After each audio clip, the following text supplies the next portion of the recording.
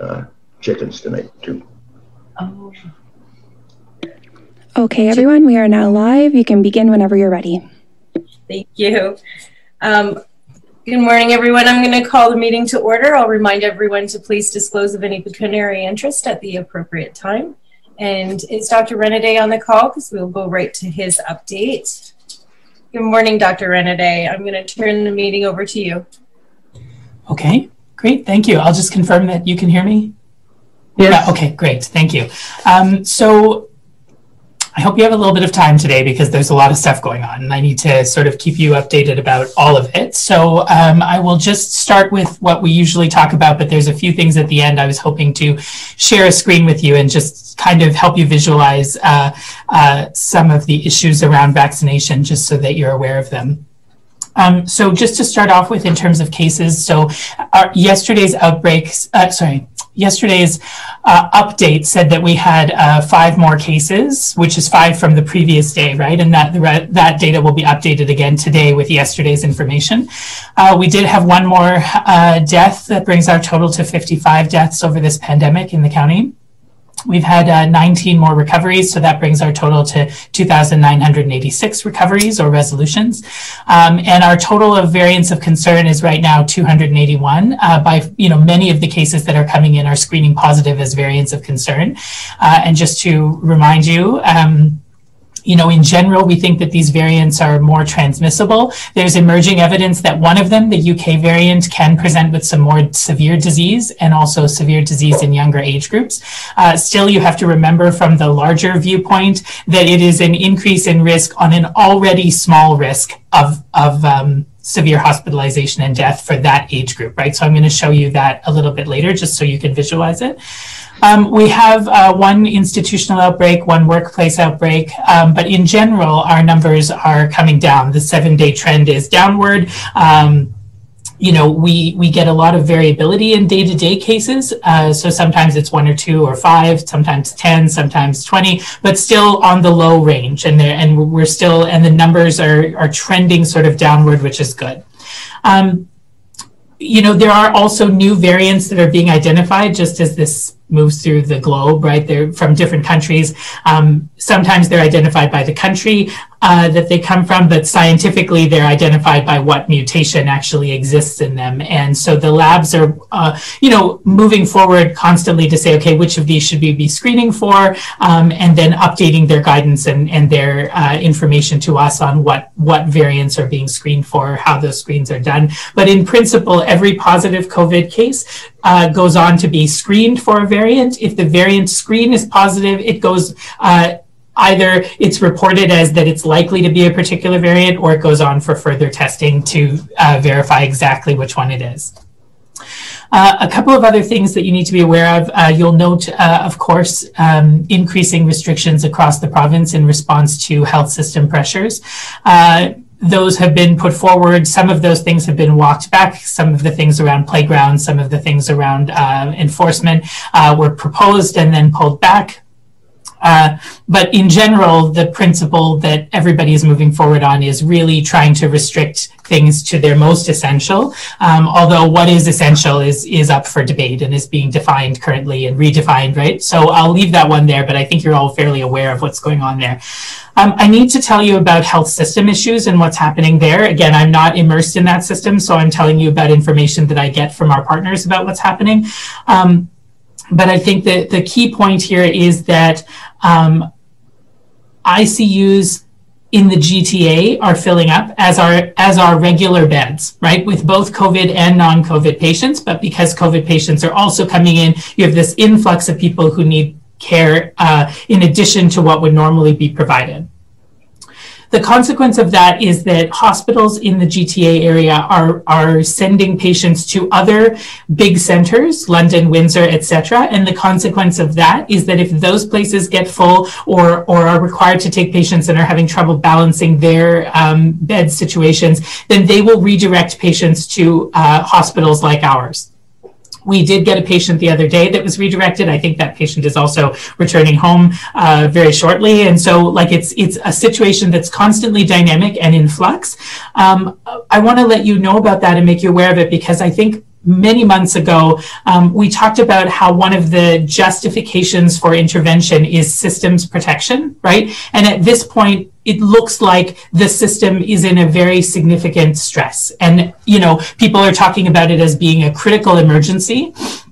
And you also need to be aware that that there is very little, according to the Science Tables report on Friday, that can be done to change that trajectory in the short term.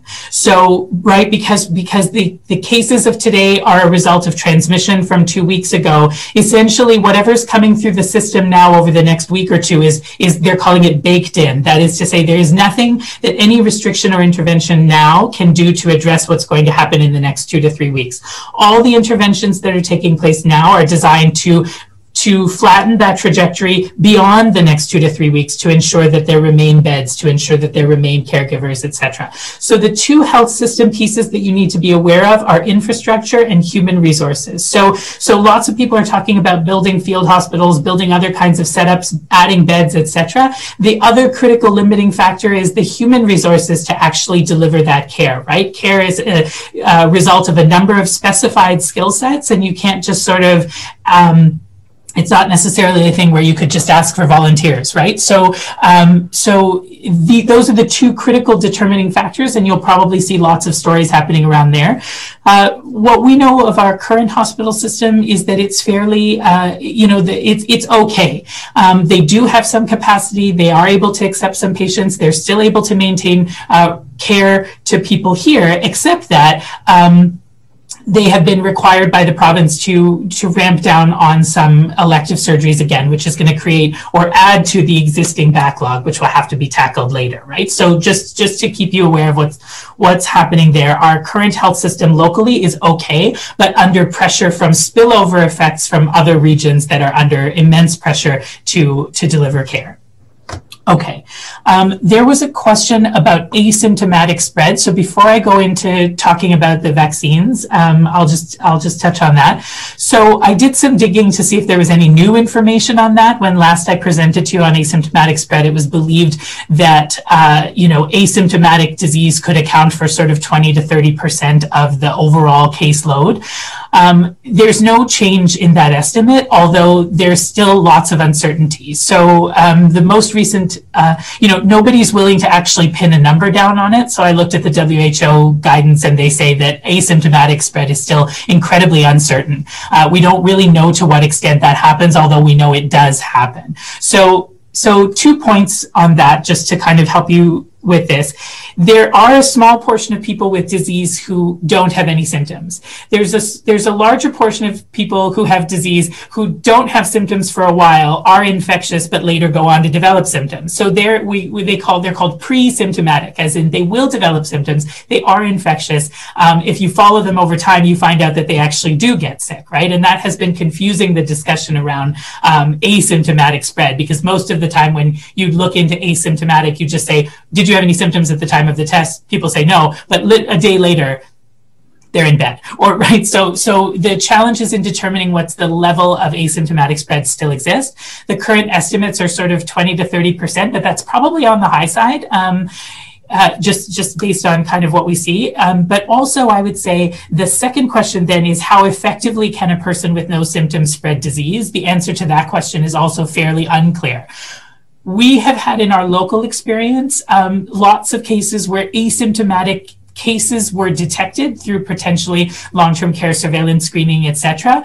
Uh, you know, I would say a very low proportion of those went on to cause further transmission or outbreaks from what we saw. Again, that's a small sample. It's a small population to be looking at to, to look at that data, but just that's, but, but we have seen cases of asymptomatic transmission or pre-symptomatic transmission causing outbreaks in other places. So it's still an ongoing kind of question. I would say that there's no real definitive answer to that. Um, I'm hoping that I can share my screen because this is really what I wanted to show you a few things here. Just give me one second and I will see if I can do that.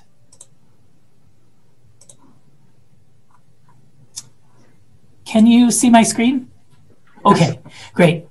This is just a screenshot from our, our um, uh, Lambton Public Health uh, uh, data site on COVID. Uh, just to show you the real thing that I wanted to highlight for you is this line that cuts through the bars. And the line is a, um, is a seven day average. And so you can see that heading into late March, our seven day, oops, sorry, our seven day averages are trending downward. So that's a good thing. That's something that we want to see. Uh, so remember the main stresses right now in the system are due to uh, areas where case counts are rising, uh, especially in large urban centers, right? But right now, for the time being, our case counts are dropping and that's a good thing. I just want to tell you a little bit about vaccines.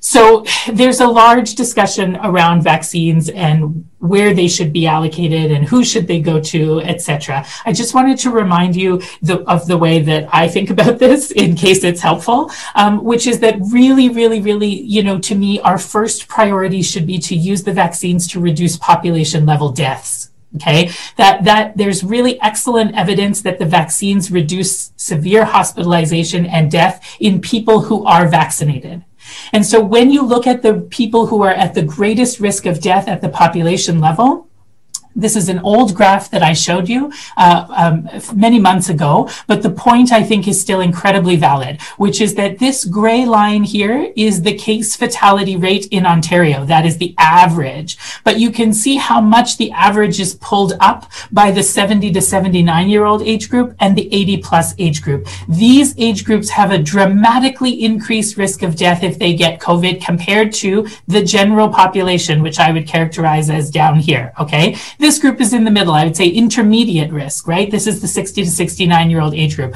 So if your priority is to reduce population level death, you start here, you work your way down because these people, when you immunize them, are going to give you the greatest reductions in the, the risk of death. Okay that's what we've done, right? So, so we started with the 80 pluses, then we moved to the 70 to 79s. Now we're into the 60 to 69s, and those folks should be, you know, they're coming through our system uh, already, but certainly over the next few weeks, they're coming in through our system to be immunized. The second discussion happens down here. If you can see my little pointer which is all of these groups, I would say, are clustered together. You could make an argument that 50 to 59 is still a little bit higher than these groups and needs to be prioritized. But, but in general, these groups, I would say, form a cluster. That is to say that people down here who might have a chronic condition, uh, you know, that might elevate your risk above, above the average group. People who are here who don't have any chronic conditions and who are quite, you know, who are fairly uh, healthy, that might reduce your risk. So now we're talking about small differences in risk okay and and people are making arguments about who should be prioritized based on their their theoretical risk or their theoretical exposure so to my mind, this is the second priority for vaccines, which is to think about using them to mitigate exposure risk. That is to take the people who are most at risk because they're either in an essential function uh, or have to conduct uh, in-person activities uh, to mitigate any risk that might come from that exposure. Remembering that overall, these people are still at far lower risk of death and hospitalization than any of these people up here. Okay.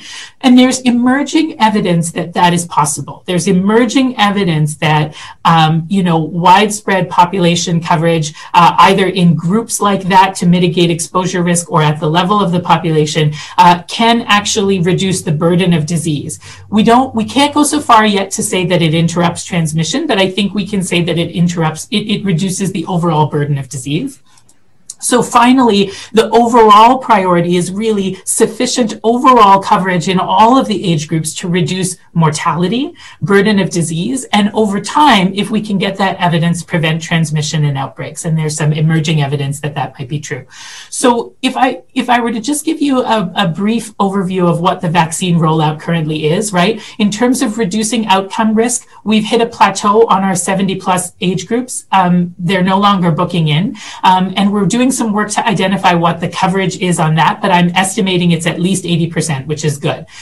We've got our 60 pluses booking and, and getting appointments now, and we're projecting that that will plateau somewhere in mid-May in terms of their numbers. We're moving to phase two congregate settings in those sectors. We've started bringing those people in, and so the other age groups are going to fill in over time population coverage is going to take some time to achieve substantial coverage, but again, I think we're making good headway. We're still focused on equity by, by having an urban and rural and mobile kind of clinic delivery model so that it, we can be reaching different parts of the county. Um, we're working to reduce transportation barriers. So you might have seen an announcement from, I think it was Leo and the Red Cross, enabling people over 50 uh, who don't have transportation to get transportation to a clinic, um, as well as working with transit systems to change their routes to make sure that our, our clinics clinics are accessible. Um, and of course, there's two mechanisms of booking. Lot, we're trying to make it as easy as possible for people to book by themselves, but of course, we can assist with the booking process for people who are unable to do so online. And and um, when our numbers update today, we're going to be. Um, I believe we're going to be over 40,000 doses that have been administered, which I think is a good uh, a good milestone to hit, and, and we're just going to keep hitting more as we go forward, which is encouraging. So I'll stop sharing my screen. I know that's been a lot of information. I'll confirm that you can see me again. Okay, um, and, and I'll, I'll leave it there. Thank you. Okay, questions for Dr. Ranade? Uh, Councillor Bird and then Councillor B. Thank you. Through the chair to Dr. Ranade. Good morning. Um, thank you for your presentation.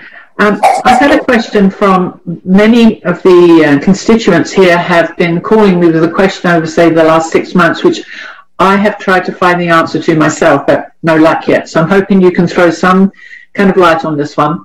So the question is this, when all those receiving a vaccination have to sign a consent form, why has the federal government granted the vaccine producing companies total immunity from liability if something goes wrong with their vaccine?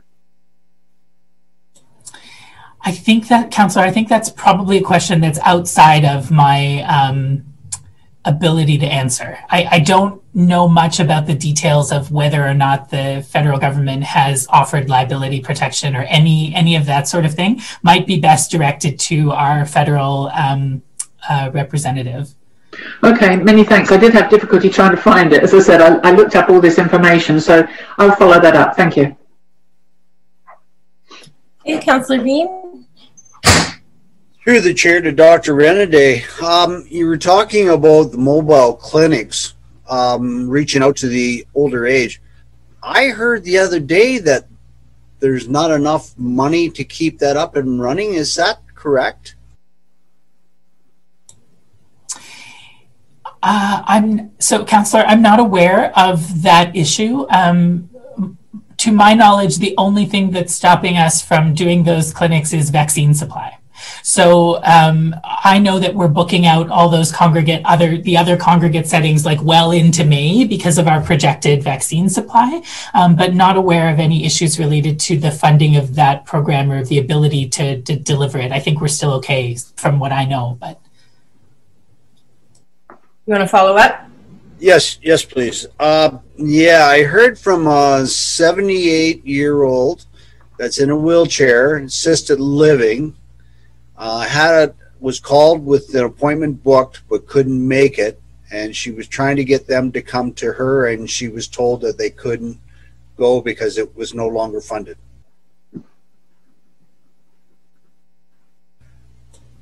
I can follow up with you later on that if you'd like. That might be that might be best so that we can look into it a little bit more because I've not heard anything about funding issues. It may be a scheduling issue, but we can but we do have mobile teams that are working to do that work. So yeah.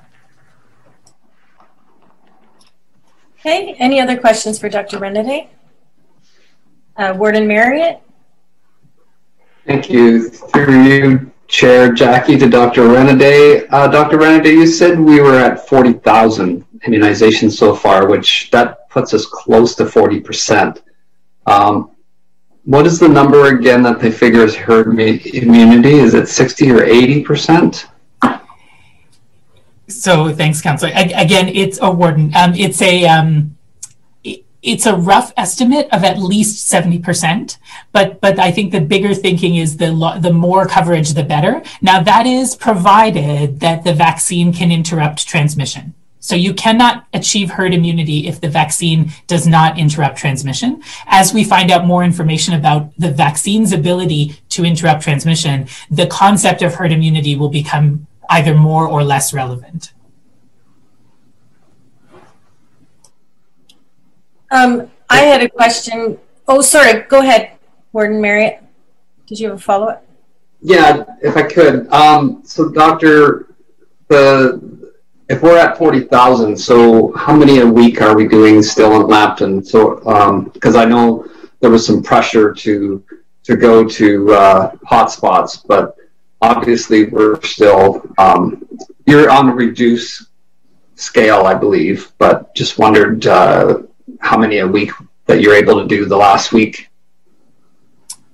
Thank you, Warden. So um, we so so first of all, I'll say you know right now we're in a position where whatever we get, we can use it fairly quickly.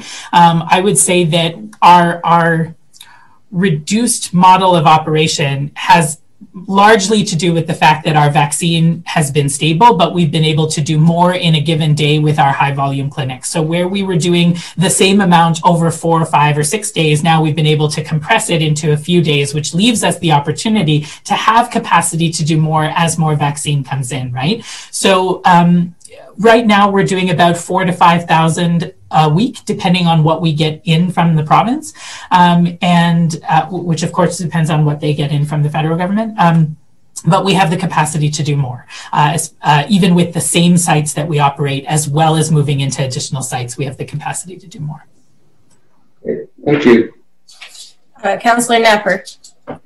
Yes, I'm not sure if this is appropriate place to ask this or not, but I've been getting a lot of pressure from my local golf courses here and petitions and stuff going around. And uh, are you hearing anything that they can make a move on this? It seems to me that uh, they put up a pretty good argument that they're not uh, causing any of this thing. And I think it'd be a great thing for mental health to get the people out in the golf courses.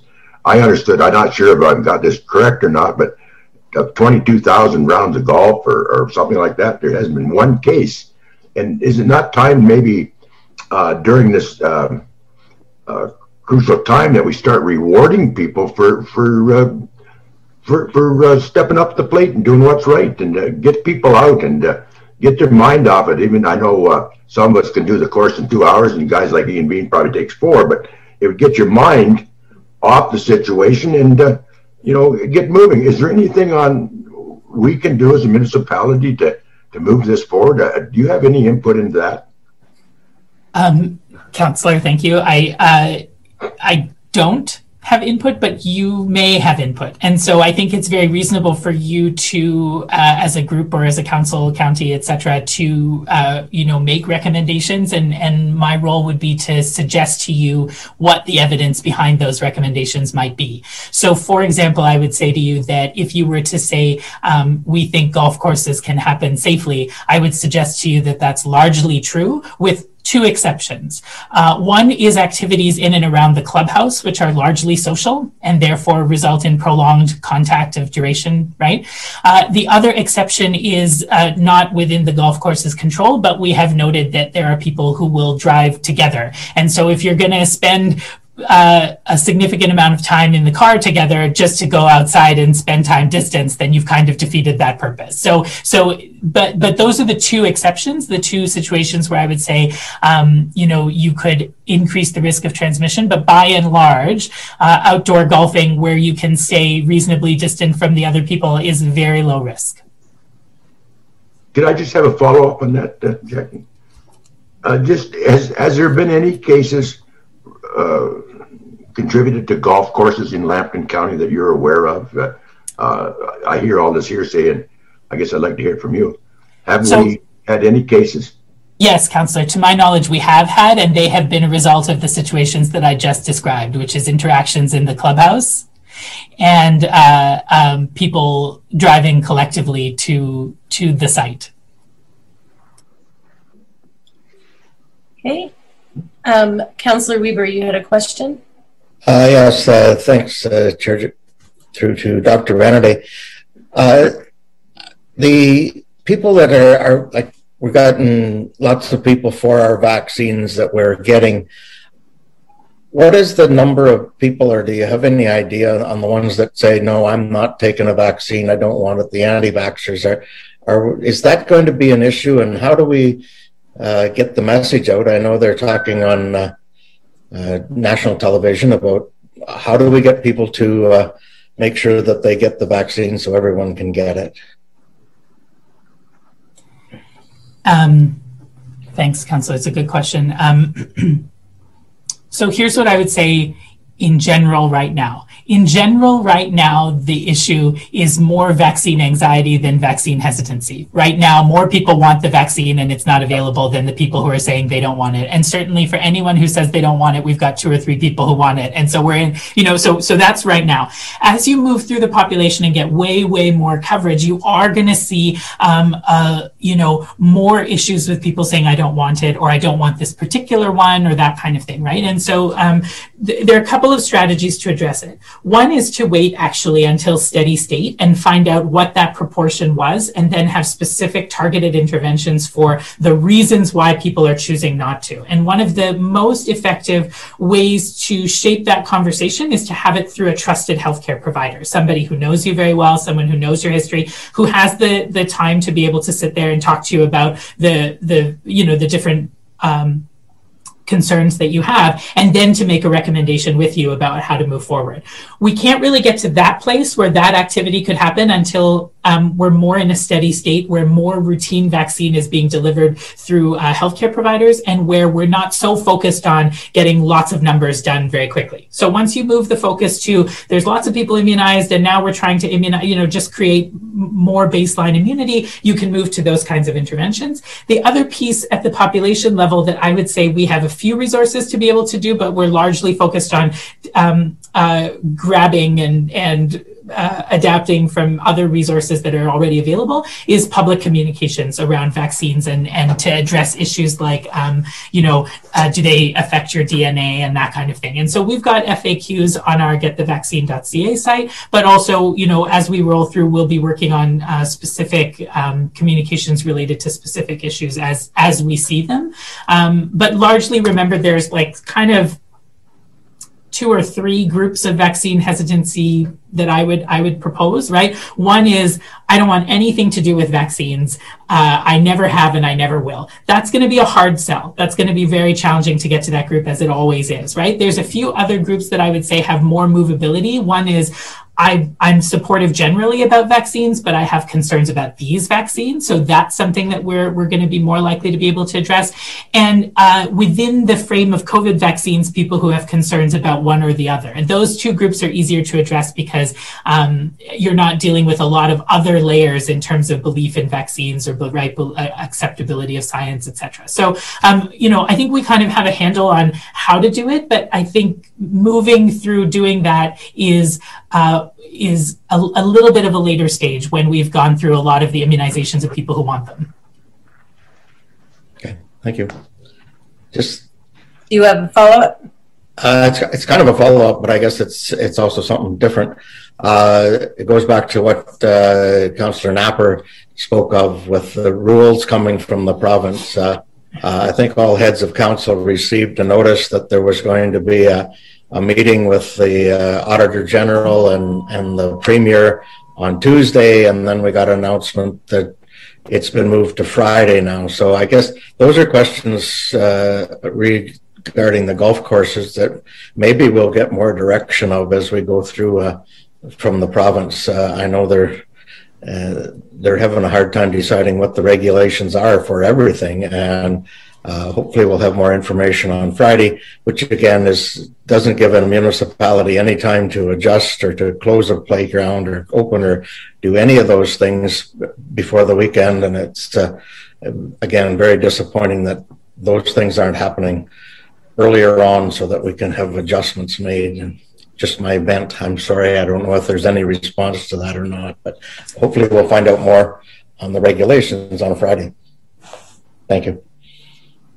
I, yeah, I, normally I wouldn't respond to, to that. I think the only the only piece I would add to that is that you know, as part of um, any advocacy that you do as a group, as a council around restrictions, you know, it's it's there's there's um, it's possible, or you know, you might also want to add in advocacy around uh, timing and notifications and planning, right? So to say that you know the you know there's a minimum amount of time that that municipalities need in order to implement the the kinds of restrictions or things that you that the province is going to put in place. And so um, having that request through the same advocacy channel would be reasonable. Good points. Yes. Just a final comment, I guess, is that last Friday at four o'clock was the last announcement that was made, and it was completely how do you close the playground? How do you do this and the OPP? Like it was, uh, that's just, that has to stop. And I, we have to advocate for something better on that. Thank you. Uh, Councillor Hand. I'm just going to um, add on to that. So on Friday, we get the word that, um, I said, we're a very small municipality. You get the word you have to close the playground. So we had a staff work all day Friday, sorry, excuse me, Saturday to close the playgrounds. Saturday night, as he's finishing, we get the change in order to reopen. Well, we didn't reopen till Monday because we don't have staff on Sunday.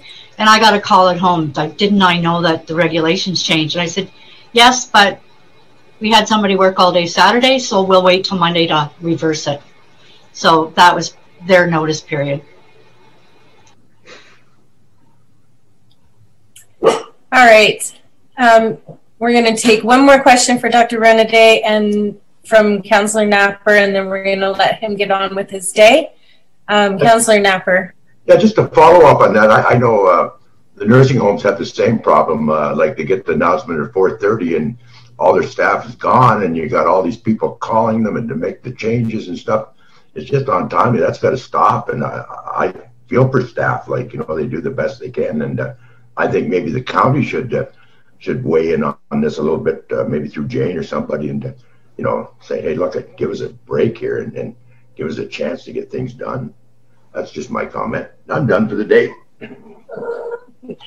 All right. Thank you so much, Dr. Ranade. We are uh, all hoping that the federal and provincial government can get us more vaccines because I know we do have the capacity to distribute those, and the sooner we can get them into arms, the better. So thank you very much for all you're doing, and we'll let you go for the day, and we'll continue on with Committee AM. Thank you. All right, everyone. We are going to start with the infrastructure and development services. There's some correspondence to receive and file. And one has a, looks like there's a follow up or a motion that goes with that correspondence. How does council want to deal with that? Councillor Veen. Uh, receive and file, I guess, the uh, A, anyway. Okay. And that's seconded by Councillor Weber. Any questions or comments on that? All in favor? That is carried. And then there's the letter from Anne Marie Nario, Regional Clerk from Niagara Region. Uh, uh, Councillor Bird. Thank you. Through the chair to everybody. Um, further to the request from the Niagara Regional Council, I move that we pass a supporting resolution, Re Bill 197, wherein the host municipalities now be empowered to render the final approval for landfills within their jurisdiction instead of the adjacent municipalities. This has been going on for so long, so I, I definitely support this and move that we pass the supporting resolution, please. Is there a seconder to that?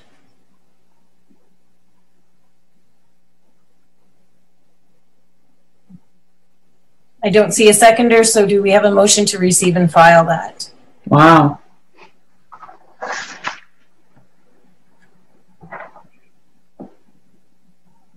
Uh, Councillor Beans?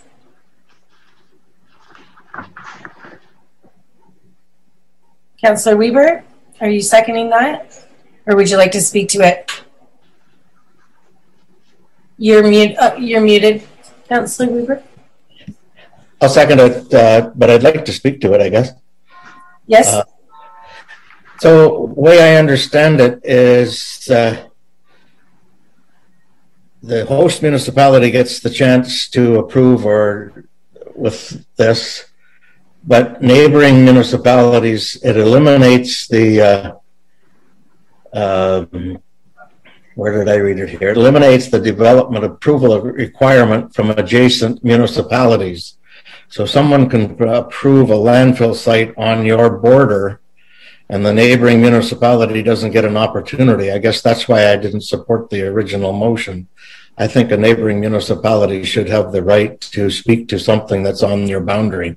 So uh, I'm for tabling this or Receiving and filing. receiving and filing. I know that of a one circumstance where the one municipality has the right to approve it, but it's like right close to a city that is in a neighboring municipality. So it would impact that neighboring municipality much greater than the municipality who has the right to receive to receive the landfill. The Yeah. impacts would be much much larger, and the tipping fees would go to the host municipality and not to the neighboring municipality. So it makes it very challenging, I think. So I think that's where the committee is looking at it. So um, I'll, all in favor of receiving and filing that. That is carried. Thank you. And then we have C, a letter, I believe, a letter from Teepu. I, I'm going to butcher that name. Assistant Deputy Minister and Chief Emergency Management Ministry of Solicitor Gen- General. So we're looking for a motion to receive and file that as well. Moved by Councillor Weber. Seconded by Councillor Napper. All in favor. That is carried. And we're going to go down to B. There's a couple of correspondence from member municipalities. Or one.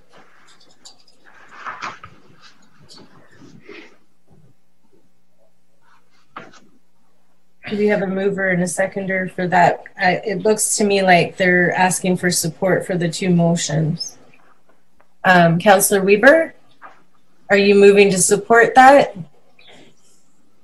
Yes? And Councillor Napper, are you seconding that?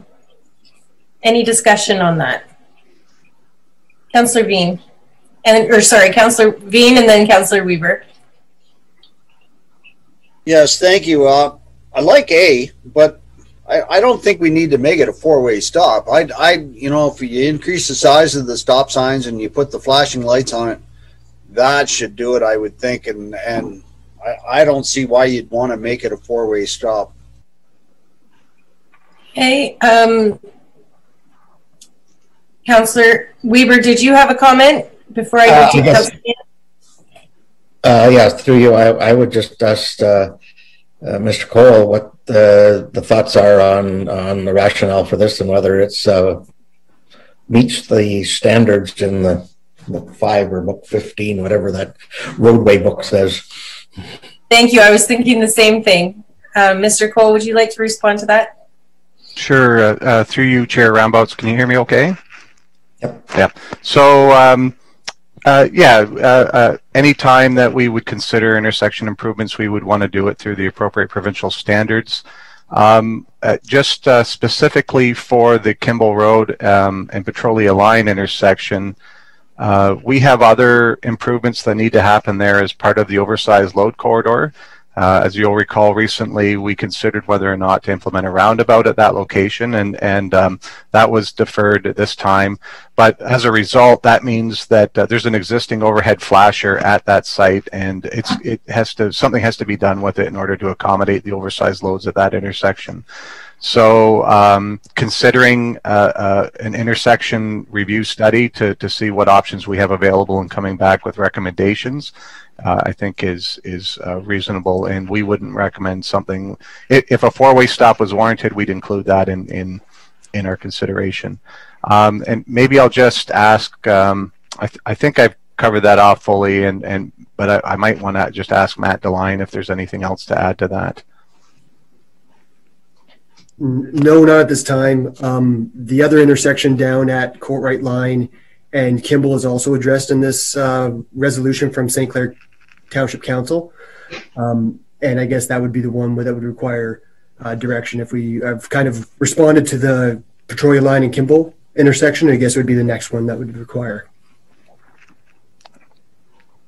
So where do we go from here if we do pass this resolution? Does that bring on a report from to go to council or how does that work? Um, yeah, I, I think uh, I, I think given the uh, request that uh, we can do an intersection review and uh, come back with recommendations for that intersection. Uh, Councillor Hand, did you have a comment? Unmute. Sorry, you're muted. Sorry, I was going to suggest that it goes forward to uh, the roads committee, the roads group for review. Then it would go back to council. Would that not be the order? Okay. So in passing this, it will spark that process then? Uh, Councillor Napper. Yeah, what's the time frame on this? I know we've had studies out there on on road for years and years, and it never seems to come back. So let's let's put a time frame on this. This municipality is coming asking a request. They put a lot of time in looking at that, and they know best what goes on in their municipalities. And I have trouble uh, dragging it out, and uh, like it's just at least make it a priority because there's been a lot of serious actions and stuff out there. I think anyway, but others don't. But I uh, I just like to see a time frame put on this thing. Uh, just don't study, study, study, study all the time. I don't like that. Just get some action. Uh, Councillor Hand. I, I just wanted to um, mention to um, Councillor Napper that there's new information because of the, the corridor work. So it's not a matter of not moving forward. It's the corridor work is going to involve making changes to it. So it's new information. Um, Mr. Cole, can you give us the timeline that we're looking at? Um, yeah, I mean, uh, we need to get this. We the certainly the Kimball and Petrolia one. Uh, uh, we need to address that so that any improvements can be implemented within our funding envelope. So uh, we would want to act quickly on this, and we would want to have something resolved and and and uh, hopefully recommendations, um, you know, within the summer timeline. So it, it this I don't think this is a matter of um, doing some of the larger studies we we've needed to do. We're not going out and looking at whether or not a roundabout's being implemented here. Uh, it's a smaller scale, and and and to be fair, uh, those types of studies uh, did take uh, more to you know th those types of things needed surveys and uh, uh, and collection of of um, traffic data that we didn't have, and so in this case, I, I you know uh, seeing something come back this summer would be reasonable. We do, however, though, have to get a consultant on board to, to take a look at it, scope the work out, and and uh, make sure that they have time to review it in, in a full and complete fashion. Any other comments before we proceed with the vote? All in favor? That is carried. Thank you. So we'll move down to information reports. There's several there, so I don't know how the committee wants to deal with those. Did you want to deal with those all at once, uh, Councillor Hand, or all together? I was thinking it would be reasonable to do the four together. Okay. Do we have a seconder to that? A to uh. Councillor Bean. And does anyone want to speak to any of those reports before we move those? All in favor of receiving and filing those reports? That is carried. Um, Mr. Cole, did you have any comments? Sorry. Oh, uh, no, through you, uh, Chair. Um, I, I think the reports were well presented. Yes. It's always a good uh, sign when you have them go through quickly. So we're going to move down to public health service. Or is there any other business? Um, Councillor Hand, you're muted. It looks to me like you're. Sorry, Councillor Rombouts, we, the, there's a report requiring a motion. Oh, thank you so much. Sorry. Yes, there is. Thank you. Um, Councillor Beans, are you moving that report? Yes, I am. Okay. And do we have a seconder to that? Councillor Hand? Any questions or comments on that report? All in favor? That is carried. Thank you. Is there any other business before we move on? Seeing none, we are going to go down to Public Health Services. Thank you, Mr. Cole. Uh, we have some correspondence to receive and file.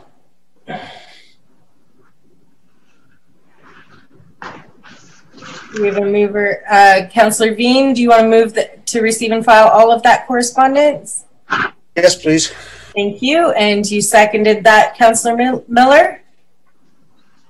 Any questions or comments on any of those, uh, or uh, any of that correspondence? All in favor?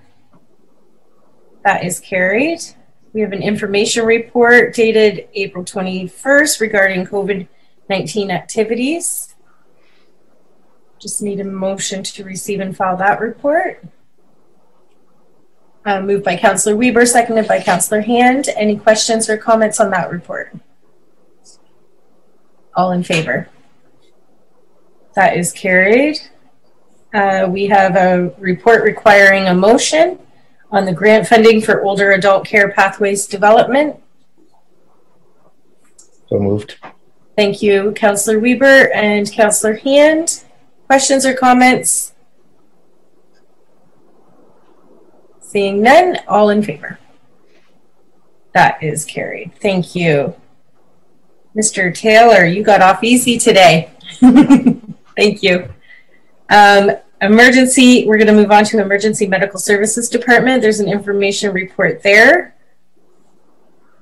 Um, Councillor Veens and Councillor Miller. Any questions or comments on that report? All in favor of receiving and filing? That is carried. And there's a report requiring a motion for community paramedic medicine in long-term care funding. Councillor Beans, are you moving that? Yes, I am. Okay, thank you. Do we have a seconder to that? Councillor Bird. Any questions or comments on that report? All in favor? That is carried. And we're going to move on to Cultural Services Division. There is an information report on the status of operations for Cultural Services Division. We need a mover and a seconder to receive and file that report. Moved by Councillor Miller, seconded by Councillor Hand. Questions or comments on that report? Uh, Councillor Napper. Yeah, that's my my complaint I make every time. When's Camlachie going to get even curbside pickup? I didn't see it in there. Mr. Meyer? Through you, Chair Ramo. Thanks again for the question, uh, Councillor Napper. And uh, we are still um, holding to our existing 16 locations for curbside pickup. And in Plympton, Wyoming, that includes uh, the Wyoming branch at this time. Um, so hopefully, hopefully in the future we can open up um, Camlachie as well for other services. But at this time, we're we're just maintaining the 16 sites. Follow up, please. Yes. Have you noticed that there's quite an influx of people out there now, and it's getting to be a quite a large area? And uh, I get requests every day from people coming in there wanting to know when that's going to be restored. So I just ask you to move on it quickly rather than slowly and get these people off me, me list. Thank you. Thank you. Um, is there any other questions about that report? All in favor of receiving and filing? That is carried. Is there any other business for cultural services? Seeing none, we will move on. We have no in camera, so all we have left is adjournment. Moved by Councillor Veens, seconded by Councillor Miller. All in favor? That is carried. Thank you very much. And we will. Have a safe day, and Bill, don't go out making snowmen up there today. It's pretty all, all melted. There's that's all we got. Stay safe, everyone. Take care. Bye. Care, everyone.